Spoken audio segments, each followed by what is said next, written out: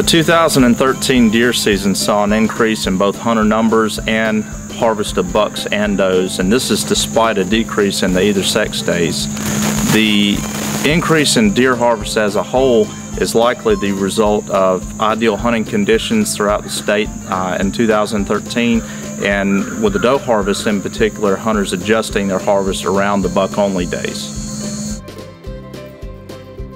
Georgia's new rut map is now available online on our website at www.georgiawildlife.com. The development of this map was a collaborative effort between University of Georgia researchers and WRD professional wildlife biologists. Looking at the map, Georgia's coast peaks in early to mid-October. In the central and northwest portions of the state, they peak in early to mid-November, and in the southwest and northeast portions of the state, they peak in early to mid-December. If you want a more detailed view of the map, please take a look at our website to look at your specific county. During the primitive weapons season, I would focus on finding oak trees in the area that you want to hunt and also locating uh, signposting behavior, scrapes and rubs for bucks. That's, uh, that's the time of year when they really start um, laying down sign pretty heavily.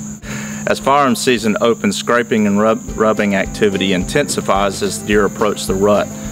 The, using the rut map is a good starting point, but you really need to monitor scrapes in particular to see when the rut starts.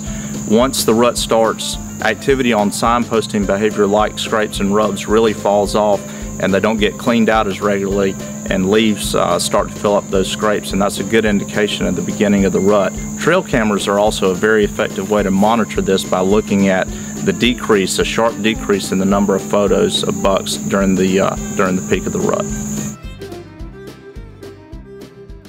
The best areas for the quantity of deer and, and still a good chance at a quality buck are going to be Berry College if you're in North Georgia, Cedar Creek WMA in Central Georgia, and Chickasawhatchee WMA in Southwest Georgia. If you're really after a quality buck this season or a quality hunting experience, you might check out Dawson Forest WMA in North Georgia, BF Grant WMA in Central Georgia, or Flint River WMA in South Georgia.